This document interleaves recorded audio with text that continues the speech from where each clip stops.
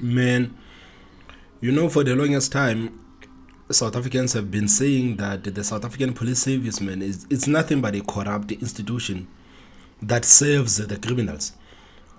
This is the accusation that people have been laying against the South African police service that you guys, you are not working for the people. You guys, you work with criminals. You even do it right in front of everyone.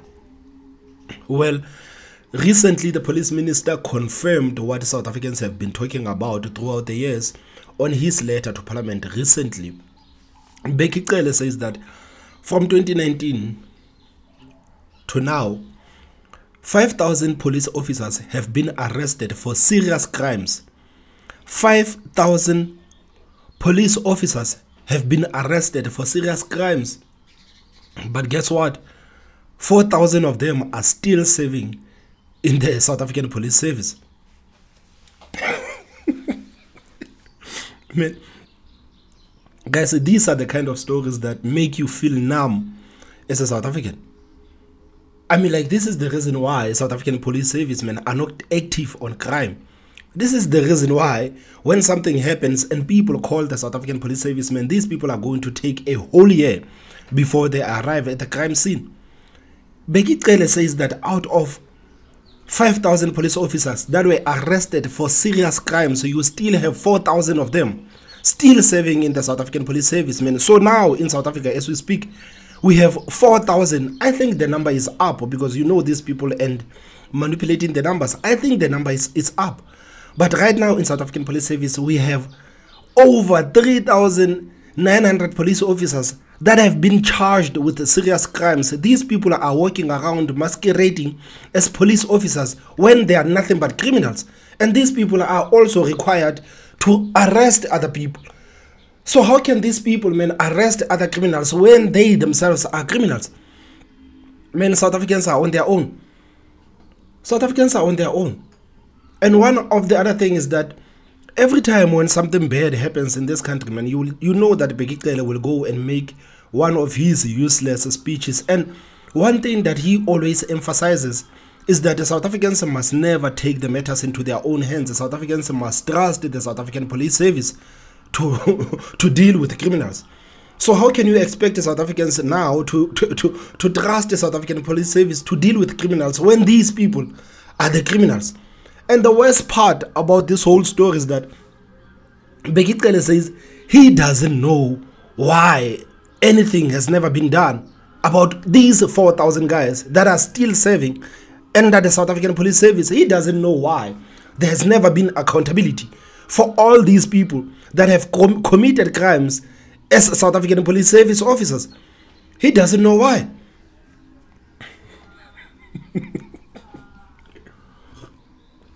Man, I will let you make up your own conclusions. He doesn't know why. So South Africans are not safe. So this whole nonsense of going around telling South Africans not to take their own the matters into their own hands, man, I think South Africans should think otherwise. And this is the reason why I'm so infuriated and frustrated whenever you look at the red tape that is there for people who are trying to get guns so that they can protect themselves and their families. Man, you know in South Africa to get a gun, man, you're gonna have to go through leaps and bounds for you to get a gun so that you can protect yourself and so that you can protect your family. You are supposed to trust these idiots, these 4,000 idiots. Man, you don't even know who these people are. We don't even know who these people are. But for some reason, you are supposed to put the safety of your family, the safety of your children, your own safety in the hands of these people that have been charged with serious crimes and still serving as the members of the South African Police Service. Man, you know when they say South, Africa is a crime scene, South Africa it is a crime scene. It is a crime scene in South Africa, man. I'm trying to find that paragraph where they try, where they explained the kind of crimes that these people were arrested with. Um, just imagine, guys. Just imagine, man. Just imagine. Yes, here it is. I don't know why is this icon here because it's like it's, it's, it's disturbing you from from seeing us. But I'm oh we're gonna see from here. I will just do it like this. Bheki Cele added some of the criminal charges included murder, rape, attempted murder, kidnapping, perjury, corruption, and extortion, defeating the hands of justice, discharging a firearm in public, burglary at residential and business premises, causing bodily injury through negligence of use of firearm and assault with intent to do grievous body harm. These are the charges that some of these police officers are facing. Murder, guys, rape, attempted murder, kidnapping, perjury, corruption, extortion. These are the crimes that the police officers that are still serving today, you are still paying those people. Guys, you have to understand, as a taxpayer, you are paying these people. You are paying these people to go around, commit all of these crimes, masquerading as police officers, and you still pay them as a taxpayer. How do we, how, how, how, how, how honestly, how do we expect something, how do we expect crime to be under control in South Africa, man, under Bheki I think by him acknowledging that 5,000 police officers were actually arrested from 2019 to now, and 4,000 of those are still serving as the police officers. Man, I think that was him telling us that he no longer wants the job. He no longer wants the job. He has failed as a police minister.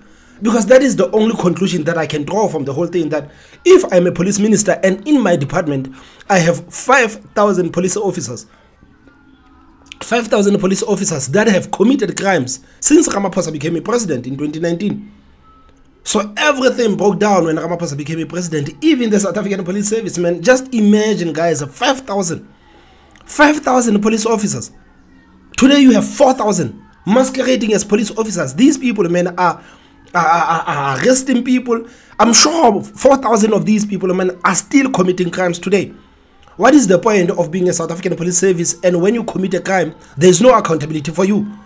There's no accountability for you, then you know that these people are still committing crimes today because I know by now, they know there's no accountability here, man. You can go and cut a deal with a drug dealer, you can go and shoot someone, you can go and do something terrible.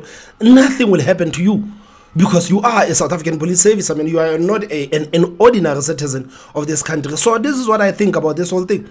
So there are two sets of laws in this country, man. There are set of laws for people in government and there are set of laws for average South Africans. All of these people under the government, whether they are in healthcare system, policing system, no matter what these people do, they will never get arrested, man. I don't even want to talk about healthcare because if I talk about healthcare, I'm gonna have to remember the life as You remember how horrible people died in life as a Esidimeni, but today you still have people walking around calling themselves MMCs, ministers, and all sorts of things. When people died under their watch there at life as a Esidimeni, no one was held accountable. And 4,000 police officers committing serious crimes such as murder and rape, you still have these people walking around in our communities masquerading as police officers, guys. I the police minister Bheki Cele in Parliament confirming that nearly 4,000 police officers who've been arrested for various crimes in the last four years are still working as police officers. Hasn't explained why they're still, in fact, employed. Richard Mamabolo is the spokesperson for the Police and Prison Civil Rights Union POPCRU. Richard, good morning. We've known for a long time that the police can't hold police officers accountable. Look at the IPID reports every year. But still, 4,000 police officers who themselves have been arrested are still wearing a uniform. I mean, this is a terrible situation. Good morning to you and the listeners. Yes, of course, it's quite unsettling that uh, over the past four years there have been such reported cases. We know that there have been uh, about 430 convictions which have been secured. But again, I think uh, we also need to as well look into the processes that uh, the SAPS had been following during that, that period because there was a process which you called expeditious process, which we have been against because it does not necessarily follow the, the well the procedures that need to be taken into consideration when investigating whether policemen and you can hear this man is talking about the processes and the procedures and all of these names. This is him trying to find excuses for this kind of behavior So don't be don't be surprised by this by this word processes, procedure, and all of these. He's, he's simply trying to make excuses for all of these guys that are still serving as police officers after committing murders and rape and kidnapping. Man, this is an outrage. Man, South Africans are numb. I, I, I guess this is exactly what Mike Shem was speaking about on the conference of State of the Nation. That man, we have been beat into submission. Just imagine, man, today in South Africa, you have thousands and thousands of police officers committing crimes each and every day. There's no accountability. These people, they can murder you today, they can kidnap. Just imagine kidnapping. What the hell is police officers doing? Kidnapping, rape, murder, extortion. Settling that uh, over the past four years there have been such reported cases. We know that there have been uh, about 430 convictions which have been secured. But again, I think uh, we also need to as well look into the processes that uh, the SAPS had been following during that, that period because there was a process which you called expeditious process, which we have been against because it does not necessarily follow the, the well the procedures that need to be taken into consideration when investigating whether policemen and women have been the wrong or not. Uh, but again, I think one of the things that we can take out from this is the fact that uh, as much as there might have been these numbers of uh, police who have been charged, what is actually uh, well uh, comforting about the situation is the fact that you still have a lot of police officers men and women who have been ensuring that uh, they upkeep the law by actually ensuring that even if their colleagues have been found in the wrong, they are then investigated and charged. And that is the basis of which IPD will be making investigations. Right, Richard, I'm sorry, but we're not going to look for silver linings here. Um, surely the police need to actually act. And isn't there a problem with the internal mechanisms within the police? If someone's arrested and they're a police. So, according to according to Mamabolo, if you have a policing unit, then you have 4,000 police officers that are charged with serious crimes. As long as you still have police officers that can still do their work, man, you must ignore the fact that you have 4,000 police officers that are committing crimes each and every day. And the fact that these people, men, have never been held accountable. This is the reason why they will continue committing these crimes. He says, no, man, uh, as long as we have like these people who are still doing the work, man, you know, we can turn a blind eye and not focus on these people that have been charged with serious, that have been charged with serious, serious crimes. We must turn a blind eye and only focus on the fact that maybe at least today we still have a few police officers that are still doing the work. Police minister says he doesn't know why nothing has never been done about all of these people that are committing crimes as police officers. Then you have the police union, police union telling you that man, stop looking here. You must focus here. Stop looking at these people that are committing the crimes in the name of South African Police Service. No, you must not do that. You must focus here on the fact that we still have a few police officers that are doing the work. So the minister is clueless. The, the union is making excuses for all of these people. So what I can tell you is that these people will continue having their jobs, and you, as taxpayers, will continue paying their salaries while these people commit crimes. They are supposed to protect the public. No, they are not doing that. They are doing the exact opposite. They are supposed to protect the public. They are not doing that. Instead, they are, they are harming the public. They are causing havoc into the public. But no, we must not look at that. We must focus here. This is what the police union is saying act? And isn't there a problem with the internal mechanisms within the police? If someone's arrested and they're a police officer, at the very least they should be suspended for a long time. And there's a great example of this because of the police officers working for the VIP protection unit who were seen on video, we've seen it, them assaulting um, this is, you know, the former the, the, current deputy president Paul Mashatile's detail. These police officers, they are police officers, were seen assaulting motorists on the side of a highway, and yet they're back at work. I mean, isn't this a classic example of the problem? Look, we're not uh, trying to underline silver linings here. We're trying to actually. And guys, if we really had, if there was any justice in South Africa, man, if there was any accountability or justice in South Africa, Paul Mashatile's security detail man would be would, would be in jail today as we speak. Mashatile's detail would be in jail today as we speak. These people are hooligans, man. They are hooligans. Paul Mashatile is supposed to be a public servant. His police officers are walking around beating up people. The same people that he's supposed to serve. Yet then you have those people, man, back at work, after assaulting people live on camera, man. The whole of South Africa saw that. Paul Mashatile said, No, I was not in a car. Those people do did as they please without me. Only to find out that Paul Mashatile was in a car. So the deputy president of the country was sitting back while his security detail was assaulting someone in the street.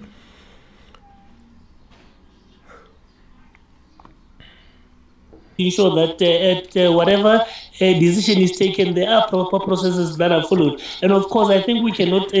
What proper processes?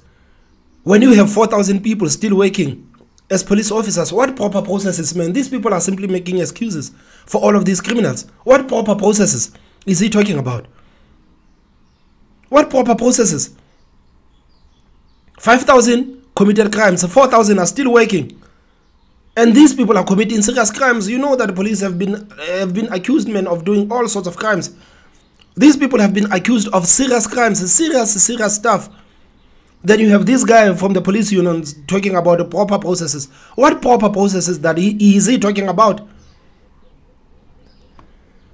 underestimate the fact that uh, uh, these investigations, which led to the charging of all these police officers, were done by other police officers so, so it would be wrong to then suggest that uh, all our police officers are corrupt. In fact, uh, there might be rotten elements, of course, we need to get rid of them, but a majority of our police officers remain committed to serving the people of South Africa.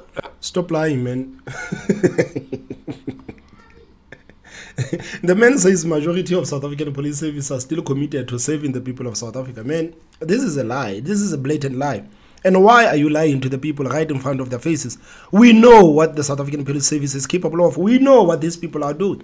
Why are you telling us a majority of South African Police Service are still doing good? If that was the case, why is the narrative out there that the South African Police Service is corrupt? It shows that majority of South African Police Service officers are corrupt. These people, they know what's up. They know that they can work with criminals. They know that they can cut deals with all sorts of criminals and nothing will happen to them. There is no investigating capacity there at the South African Police Service, man. These people, they cannot even deal with the serious issue that we are facing today of sexual harassment. They can't deal with that. So how do you expect these people to deal with some of these serious crimes? They can't. then you have the police union telling you that most of the police service men, most of the police officers are still committed to saving this country. this country is a crime scene, man. It's a crime scene. These are kind of stories, man, that makes you feel frustrated as a person. It makes you feel frustrated, especially as a hardworking South African. You know that you are paying high taxes, man. You know the ANC is taxing you to death only for you to pay these people's salaries. They're taxing you to death to pay these people's salaries. These people who are committing crimes with criminals. And the South African Police Union is making excuses for all of these people. Be- Bheki doesn't know the police union is making excuses. To get rid of them, but a majority of our police officers remain committed to serving the people of South Africa. Okay, Richard, do you do you agree that there need to be stronger accountability mechanisms in the SAPS? We definitely agree on that. There definitely needs to be stronger mechanisms to ensure that we root out all the strong elements. Okay, and you agree that the current systems aren't working? I mean, it's obvious they aren't working.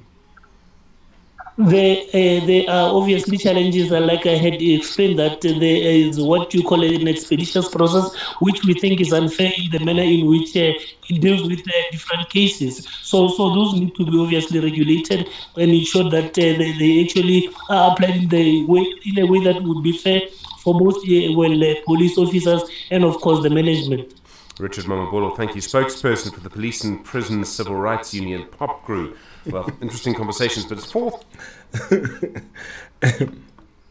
Guys, this country of ours, man, it's a crime scene. So, this is what you should keep in mind, man. Next time before you call a police officer, man, you might think that you're calling a police officer. You you, you might be talking to a murderer, a rapist, you know, and ex- a, a, someone who, who extorts people. These are kind of people that we are expected to, to trust with our with our safety police minister working around every day telling people not to take the matters into their own hands. But what exactly do you expect people to do in this case? When we have thousands and thousands of police officers committing crimes and no accountability, none whatsoever. What do you expect people to do? Guys, please tell me what you think about this crime scene of ours that is called South Africa. Please tell me what you think on the comment section. Don't forget to hit the like button. And the most important part, subscribe, subscribe, subscribe. My name is Thomas Mabaso, and I will see you next time. Bye bye.